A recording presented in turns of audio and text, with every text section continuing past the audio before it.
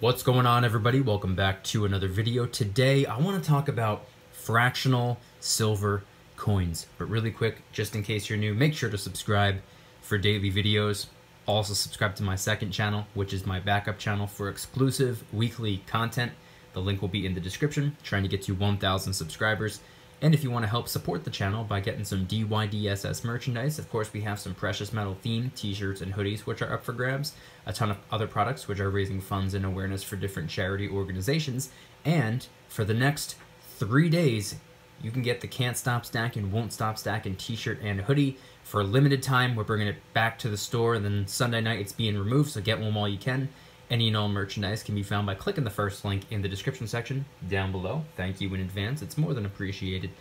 But today, I wanted to talk a little bit more about some 90% junk constitutional silver. Now, I'm sure many of you have already seen the video that I posted a couple of days ago where I found this little bottle while cleaning out a house. It says, do not use silver bunch of junk silver inside of it. If you want to know exactly how much I found, go check out that video. But in today's video, I want to talk about the fractional silver aspect of 90% junk constitutional silver, whatever you want to call it. So sitting here in front of me, we have a half dollar, we have a quarter, and we have a dime.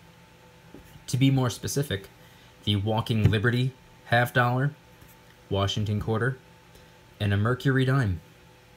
Now, in addition, I also have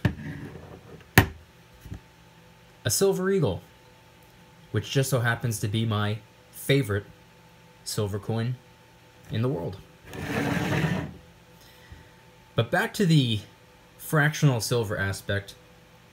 I've talked about this in the past, but it's actually one of my favorite things to talk about, especially when it comes to silver coins as I've always said, I've said it in almost every junk silver video I've ever made, I'm not the biggest fan of junk silver. I think it's cool, I think it's interesting. It's fun to learn about different points in history, and it's definitely cool having silver in my possession. However, I've always felt as though holding on to these coins just feels like I have spare change in my pocket. It doesn't feel as significant or substantial as a 3 nines fine or a 4 nines fine, pure silver coin. But I understand the importance of diversification, and I understand the importance of being able to quote unquote break an ounce or make change for an ounce. So as I've said in previous videos, the silver half dollar right over here, you can think of it as a one third of an ounce silver coin. It would take about three of these to equate to a troy ounce of silver. So, let's just say spot price were to do something crazy. Let's just say, arbitrary number, goes up to $60 an ounce for silver. You may or may not have a hard time breaking an ounce, finding someone who's willing to fork over $60 for an ounce of silver.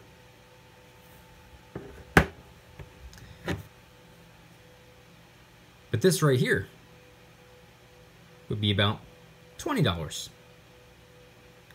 So I just think it's an interesting way of viewing 90% junk constitutional silver, not to mention silver quarter right here in the middle. Can be seen as one sixth of an ounce of silver. It would take about six silver quarters to equate to roughly a troy ounce of silver. And then as for silver dimes, one fourteenth of an ounce of silver. Just about. It would take 14 of these bad boys. Let me get it in focus. To equate to a troy ounce of silver. So, I've taken the liberty to get some more junk silver to show you guys.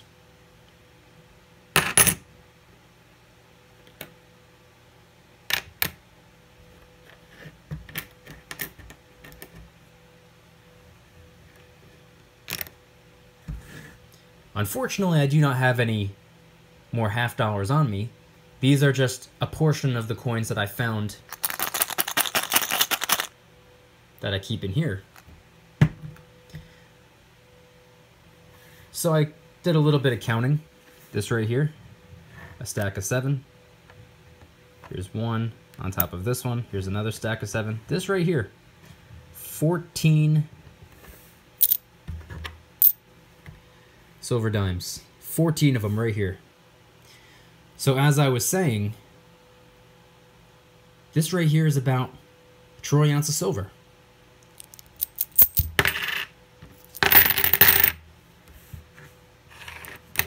Mercury dimes and Roosevelt dimes.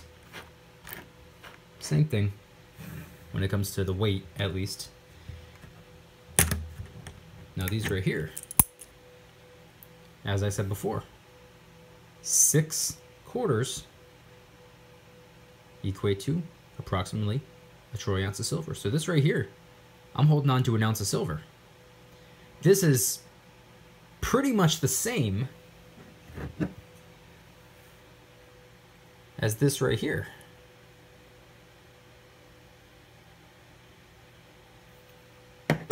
Now, like I said, I do not have any more half dollars on me. All of these coins right here are coins that I found that day that I cleared out the house. The rest are all in here. So obviously, I found multiple ounces of silver. I mean, this right here, two ounces of silver. Two and a third, you could say, sitting right here in front of me on camera. Plus plenty more that I found for free. I did not convert my dollars into this. I found all these. All this silver. So as I said in the previous video, it's like buried treasure. And I'm curious, everybody watching this right now, how do you view 90% junk constitutional silver? Because I get a lot of comments from a lot of different people, hundreds and hundreds, sometimes thousands of comments a week. And oftentimes, I'll see someone say something along the lines of that they do not stack junk silver at all. They stay away from it because maybe they prefer pure silver like I do, even though pure silver is my preference and the foundation of my stack, I understand the importance of fractional silver coins, such as the one third of an ounce, the one sixth of an ounce, and the one fourteenth of an ounce. But I also get comments from people saying that they do not stack pure silver, they only stack 90% junk constitutional silver. So where do you stand when it comes to these silver coins? Do you prefer pure silver like I do? Maybe that's all you stack, you refuse to stack junk silver. Maybe you only stack junk silver and you refuse to stack pure silver.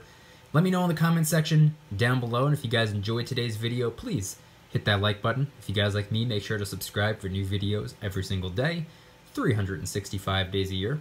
Also subscribe to my second channel, which is my backup channel for exclusive weekly content. The link will be in the description. Trying to hit 1,000 subscribers, so help us out. And if you want to support the channel in the biggest possible way, please consider getting yourself some DYDSS merchandise. Of course, we have some precious metal themed t-shirts and hoodies, which are up for grabs. We have a ton of other products, t-shirts, hoodies, even stickers, many of which are raising funds and awareness for different charity organizations. And of course, for a limited time only, only for about two and a half days, you can get the DYDSS Can't Stop, Won't Stop t-shirt and hoodie available in both black and white. It's being removed from the store Sunday night, so get one while you can. Any and all merchandise can be found by clicking the first link in the description section down below. Thank you in advance. It's more than appreciated. And once again, please head on down to the comments and let me know where you stand when it comes to silver coins. Do you like that pure silver, that three nines fine, that four nines fine silver? Do you like the one ounce increments? Or do you like the 90%? Or do you like both?